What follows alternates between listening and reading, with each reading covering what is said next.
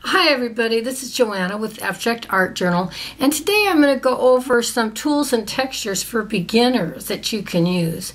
So once you get started with your paint, paper, and brush, uh, you might want to add a few items. Now these are all pretty inexpensive and they're really fun. So uh, I went ahead and found out I was using a flat brush a lot so I got a little bigger flat brush.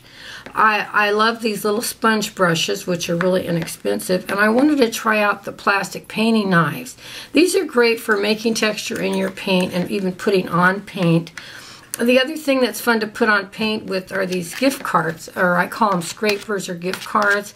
You can put paint on with those. You can put paint on with any kind of household sponge.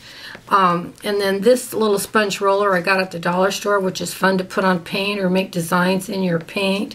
So that's kind of fun. The other thing that you may have at home is some bubble wrap, which makes great texture in your paint. Uh, the other thing is cardboard. Uh, any cardboard box you have at home, you can pull it off uh, one of the sides and you get this nice surface for texture. Another thing is that if you're using craft paint, which has a lot of water, you can put a little bit in a container and add water and get a little spray paint.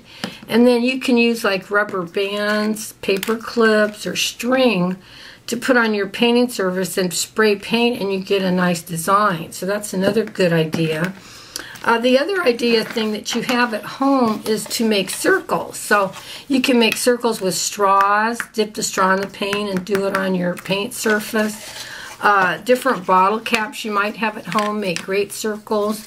Um, paper towel rolls make great circles. And then the plastic cups make great circles, either from the bottom or you can set it in paint and you make good circles like that. So that's fun. And the other thing I found are these clay tools that are for clay, but they make great designs in your paint. And those are all inexpensive. So these are just all little fun tips and tricks for you to try once you get started and how to make textures in your uh, paintings. Okay, thanks and have a great art day.